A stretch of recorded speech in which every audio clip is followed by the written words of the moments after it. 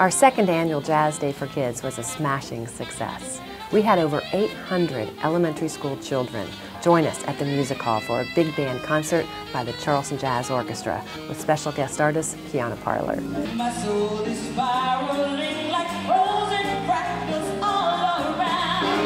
One of the highlights of the event was when Quiana Parler sang Let It Go from the movie Frozen.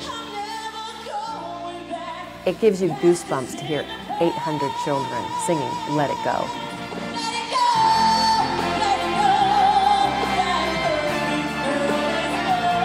This was the first time that we live streamed Jazz Day for Kids to bring this wonderful programming to over 500 kids across the United States.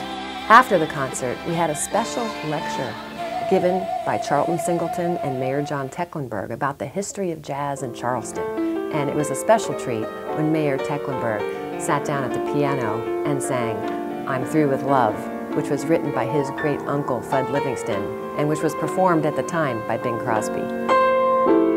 I have given you my true love, but you love a new love. Our mission at Charleston Jazz is to keep jazz alive and thriving in Charleston, and the best way to do that is by teaching it to our youth. So I want to thank everybody who played a part in making Jazz Day for Kids happen in 2017. And there's only this to say I'm through with love. I'll never fall again.